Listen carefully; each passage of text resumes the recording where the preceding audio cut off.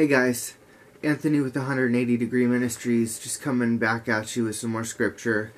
Uh, today I just wanted to bring uh, Ephesians chapter 4 into talk and basically just uh, let you guys know and bring up uh, your value and how each one of us has our own distinct value, our own job, even though we're all connected, being connected through Christ to God in one body we each have our own job and a specific purpose. Each one of us was predestined here.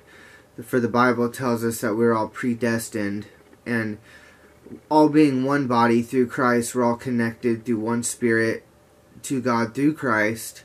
We each all have a different job to do.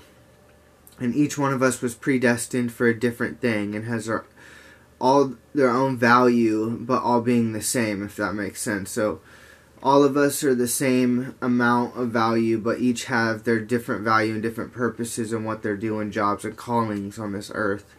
Um, some might be for praying, some might be for preaching, for healing. Um, and God places us in different parts of the world uh, with different duties and different jobs, but yet we're all connected through one source, through Christ in, a, in one body. And it's just really amazing and i just wanted to uh, talk about it and uh, just let you remember to tell you guys that you guys are so valuable.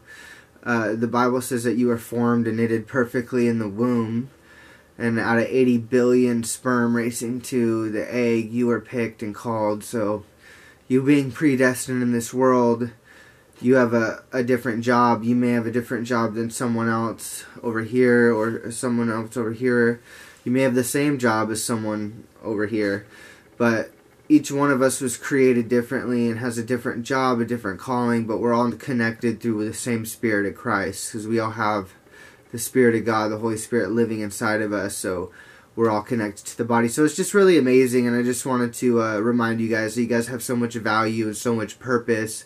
And if you don't know what your calling is and what you were created for, I just really urge you to uh, get with God and really pray, and He'll He'll let you know. He'll bring it to your attention. He'll just really seek Him. The Bible says, "Seek and you will find, and knock and the door will be answered." So just just ask Him, ask Him, and you'll you'll figure out your calling. So God bless you guys. I'll be back shortly with some more scripture. I thank you so much. God bless you.